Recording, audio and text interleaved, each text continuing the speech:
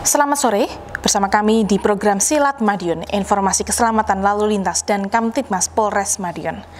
Hari ini, Sabtu 8 Mei 2021, bersama saya Bribda Desi akan melaporkan perkembangan situasi arus lalu lintas terkini di wilayah hukum Polres Madiun yang akan kami laporkan melalui CCTV di Madiun Comment Center Polres Madiun. Hasil dari pantauan kami dari CCTV, perkembangan arus lalu lintas di wilayah Kabupaten Madiun terpantau lancar dan terkendali.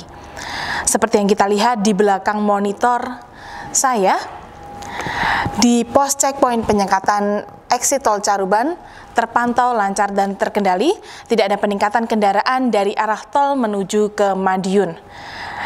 Demikian juga dari pos penyekatan Madiun Nganjuk di Desa Nampu Kecamatan Gemarang juga terpantau lancar dan terkendali. Berikut ada anggota yang sedang melaksanakan penyekatan di wilayah tersebut.